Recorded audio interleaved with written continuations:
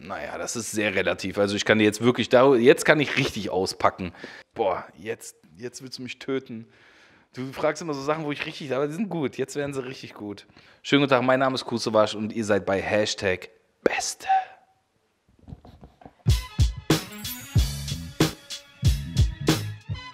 Also eine meiner besten Erinnerungen in Bezug auf Recording ist äh, die Entstehung von Bello 2, beziehungsweise auch von Bello 3, weil wir da jeweils so ein Bootcamp, das Bello Bootcamp gemacht haben.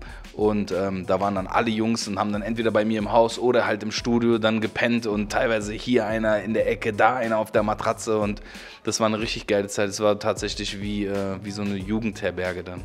Sie hat viele Beats gemacht, die beste sind, aber zum Beispiel sowas wie Optic Anthem würde ich auch heute noch wählen. Ich finde, Optic Anthem ist für mich persönlich fast Beste in Bezug auf Mel Beats Beats. Naja, ich finde, der ist Beste, weil er anders ist, weil die Melodie irgendwie so ein bisschen Keyboardartig ist und die Drums so ein bisschen synthetisch sind, aber dann doch nicht. Sie hat einfach so vieles kombiniert in diesem Song und die Rhythmik gefällt mir und ähm, ich habe immer wieder mal drüber nachgedacht, auf den Song, auf den Beat nochmal zu rappen und den nochmal zu verwerten. Werde ich vielleicht auch machen. Naja, im Internet ist eigentlich 90 Prozent der Zeit, die man im Internet verbringt, ist, ist der beste sinnlose Zeitvertreib. Aber ähm, natürlich gehört dazu so äh, Wein-Compilations, würde ich sagen. Die schaue ich mir sehr, sehr gerne an und äh, auch in rohen Mengen. Und da verbringe ich schon viel Zeit mit. Also, dass ich mir einfach nur Schwachsinn angucke, den die Leute da fabrizieren. Also in Berlin als Vegetarier kann man auf jeden Fall hat man, kann man richtig gut essen. So. Ähm, es gibt, ähm, wer auf, ich liebe äh, vietnamesische Küche, ich mag überhaupt nicht thailändisch und so, aber vietnamesische Küche ist für mich mit das genialste Essen, was es gibt. Und ähm, es gibt auch so Mischdinger so dazwischen, aber es gibt zum Beispiel Läden wie ähm, Sian, Monsieur Wong und so weiter und so fort, die eigentlich konstant gut schmecken, wo du immer hingehst.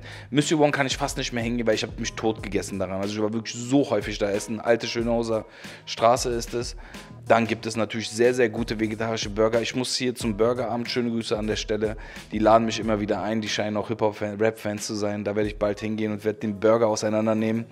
Ähm, ansonsten, ich liebe echte mexikanische Küche, so wenn man, wenn man äh, mal irgendwo hingeht, wo sie wirklich gutes mexikanisches Essen darf. Also meistens muss man es ja selber machen, aber mit so einer guten Salsa. Dann habe ich zum Beispiel bei, bei ähm, Luigi Zuckermann zum Beispiel, hat ein Alex gearbeitet und ich meinte, Alex, ich kann nicht immer diese Omelette-Sandwich, so, das ein bisschen zu öde.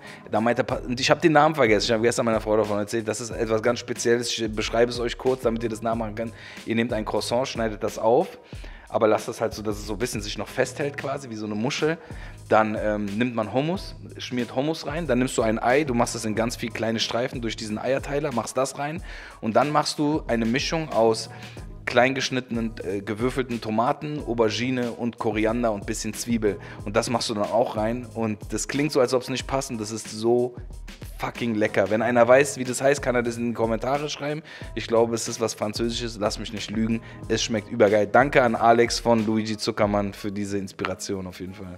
Also ich glaube, die beste Reise meines Lebens war unter anderem mit 14 nach San Francisco zu meiner Tante, weil ich dort äh, angefangen habe quasi zu rappen. Und danach war ich tatsächlich nochmal dort in der Gegend in Oakland und da habe ich dann, äh, das war halt lustig, nochmal an diesen Ort quasi zu kommen und dann schon auch ein Rapper zu sein. Und dann war die zweite, die zweite Umstellung, dass ich dann von Englisch auf Deutsch geswitcht bin, auch durch diese Reise und durch die Menschen, die ich dort kennengelernt habe. Daher war das schon Beste für mich. Früher bin ich immer mit Jamiroquai eingeschlafen, mit Emergency on Planet Earth, mit dem Album. Und äh, danach, das nächste Album, was mich so sehr auch geprägt und beeindruckt hat, äh, war von, von Gael. Transient heißt es. Und ähm, die hat auch nie wieder Musik gemacht, so richtig. Und die wollte auch kein Feature mit mir machen. Die ist auch unerreichbar. Die hat auch eine Depression, daher ist es sehr schade. Aber das Album kann ich jedem wärmen. Also jeder, dem ich es empfohlen habe, war sehr glücklich mit dem Album dann. Also Boba Fett, mein DJ damals und Fuad, äh, dann haben die sich mal fast geschlagen. So Fuad wollte dann, wollte dann Z kaputt schlagen, weil, wegen irgendwas. Sorry, da waren wir in Freiburg, waren wir essen und Furt hat einfach im Restaurant Fisch mit den Händen gegessen und Z meinte, Dicker, was machst du denn da? Du kannst doch nicht Fisch mit den Händen essen, wir sind in einem teuren Restaurant. Da meint Furt, ja, in der Türkei essen alle Fisch mit den Händen. Da, Messer und Gabel, das, das ist, äh, das, was hat er gesagt? Er meinte, das ist richtig, das, das ist keine Kultur und so, das ist das Schlimmste, was du machen kannst. Größte Trauer, die haben ja auch nur Nonsens geredet.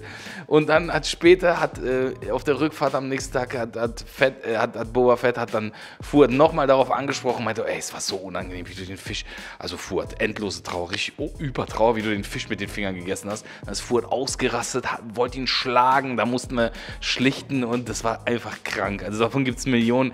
Wenn man es so hört, ist es vielleicht nicht so witzig, aber wenn ich so vorm geistigen Auge abspule, dann sind die einfach nur alle krank gewesen. So richtig geist. Also wenn ich jetzt anfange, ich könnte eine Sendung nur mit diesen Leuten füllen. Alter. Fragst du den Falschen, weil ich so viele Sachen an so vielen Autos geil finde. Ich denke, der Porsche 911er Turbo, Turbo S, das steht schon über allen Dingen. Wenn man jetzt so, wenn man sagt, okay, man müsste das beste Auto wählen, wäre es ein, ein 911er auf jeden Fall, mit Sicherheit das Beste an Moneyboy ist, dass er überhaupt existiert und dass er so intelligent ist, dass er, dass er, dass er alle auf den Arm nimmt. Und äh, das Allerbeste ist halt, dass Leute sich teilweise wirklich auch noch davon angepisst fühlen. So, ich habe mich noch nie von irgendwas, was er gesagt hat, angegriffen oder abgefuckt gefühlt. Er ist nicht nur belustigend, sondern auch äh, bringt, bringt, ein, bringt eine positive Stimmung rein und gleichzeitig ist er ein, ein sozialkritischer Mensch.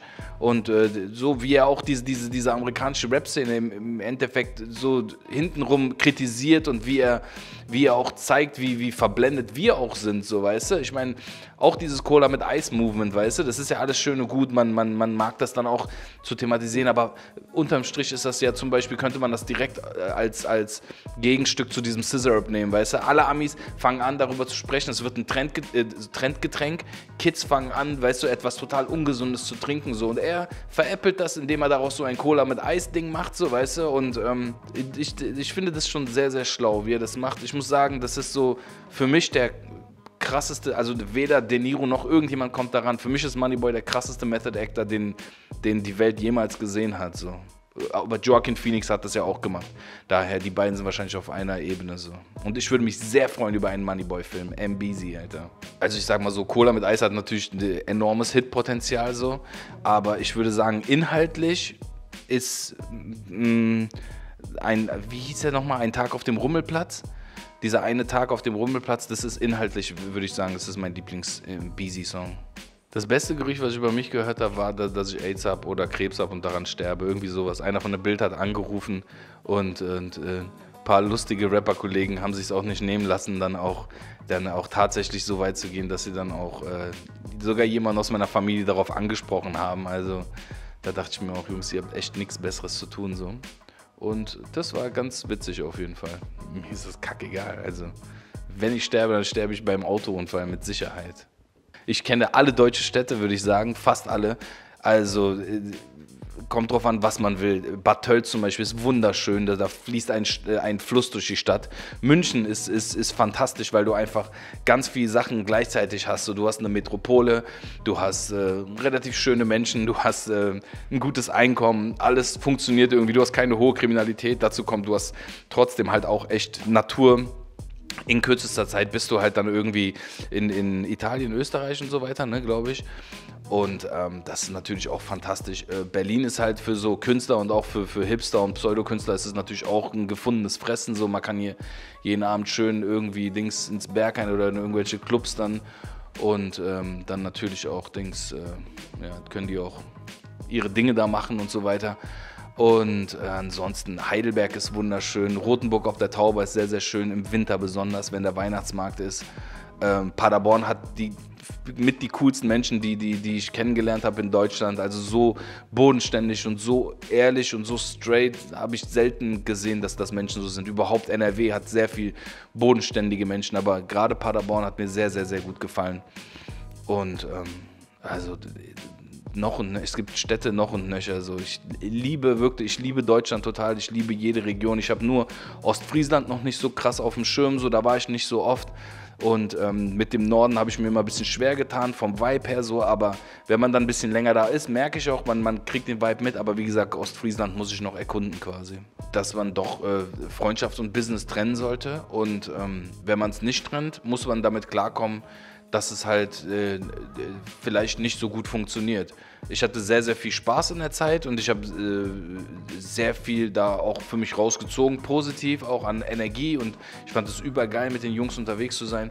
Andererseits ist es halt, wir haben auch viel Geld und viel Zeit auch gewissermaßen verbrannt. Ich sage jetzt nicht wegen dem einen oder anderen Artist, sondern insgesamt, weil ich dieses Setup so wollte, weißt du, weil ich ein Label wollte. Das war alles irgendwie Schwachsinn. Da hätte ich viel früher umlenken müssen und das alles ein bisschen anders machen sollen. Aber ist nicht schlimm so. Ich traue keinem Euro im Endeffekt großartig nach. So, ich sage, das ist alles so, Geld kommt und geht und das so auch, man hat was daraus gelernt. Darum ist es cool zwei Wochen Auszeit und Musik machen, von der man sich denkt, dass man sie eh niemals veröffentlichen wird. Das heißt, man macht mal ein Album, was man nur für sich macht, ohne dass man eine Sekunde darüber nachdenkt, dass andere das hören werden. Und man veröffentlicht es auch nicht.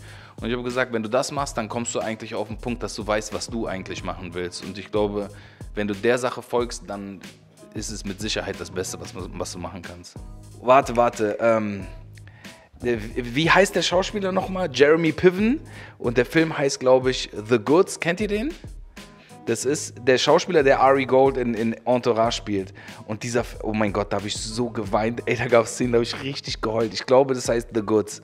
Das sind so Autoverkäufer. Die gehen, das ist so ein Team von vier Leuten und die gehen zu so zu Autoverkäufern, wo es nicht mehr so läuft und die, die helfen denen auf die Sprünge quasi. Ich schwöre, da habe ich so geweint. Der ist so behindert, der Film. Der ist übergeil. Guckt euch den an. Aber es gibt sonst viele gute Filme. Matrix natürlich auch ein Klassiker und so weiter. Yigidi Yo, das war Hashtag Beste mit eurem besten Freund Kusavage. Beste. Meiner Meinung nach. Weil es fängt halt jetzt an, so dass alle nur noch ans Business denken. Und das ist mir halt in der Musik oder im deutschen Hip-Hop komplett verloren gegangen, dass man es einfach nur aus Liebe zum Spiel macht hin und wieder. Jeder redet über Charts, dies, das. Ich, das ist mir